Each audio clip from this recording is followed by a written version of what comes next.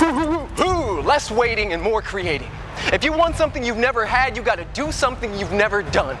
If you want something you've never had, you have to go to a place in your beingness that is not so comfortable for you. You know, everybody has million dollar dreams, right? But a lot of people have $10 habits. And if you want something you've never had, you got to cultivate a million dollar consciousness. You can't call in all of this magic in your life if you aren't willing to, within your own life, to step out on the ledge, get vulnerable, and see what happens.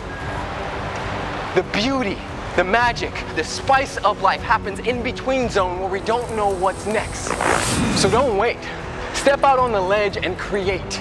To me, the bravest among us are those who, despite the conditions not being right, they step out and do it anyway. That's what you have to do in your own life. Because I got to tell you something, the conditions will never be right. You'll always have a valid excuse why you should pay off the credit card before you take the trip. You'll always have a valid excuse why, you know, after the kids get out of school that you'll buy that house. All of that stuff will have you stuck for the rest of your life. Less waiting and more creating. Because if you want something you've never had, you got to do something you've never done. You got to step into a place of beingness and that is courage. That takes courage. I'm not saying that it won't have fear, that fear won't be involved, but it's recognizing the fear and doing it anyway. You know, a lot of people are attached to what it's supposed to look like. They're so busy and focused on the, their plan that they miss all of the beauty, all of the magic that's flowing through their lives. They're so focused on the red boat. Oh, when's the red boat coming? That the blue boat, the green boat, the brown boat, and all of them have come and gone. If you want something that you've never had, you got to do something you've never done. You have to go to a place in your beingness where you are vulnerable enough to experience the unknown.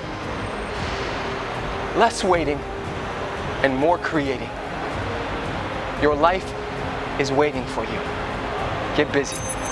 I'm Preston Smiles. It has been an absolute pleasure serving you. I love you guys so much. If you're new to the family, go ahead and click subscribe, tag a friend, leave a comment, all that good, juicy stuff. And if you want to get into some personal development work, go to thebridgemethod.org or prestonsmiles.com where we have some beautiful magic. It is going down in a beautiful major way. I am, we are, hashtag loves voice is going down. You see, a cup is useless if it isn't used properly. And it's time for us to become the space for receiving. So, my question to you is Is your bucket flipped upside down?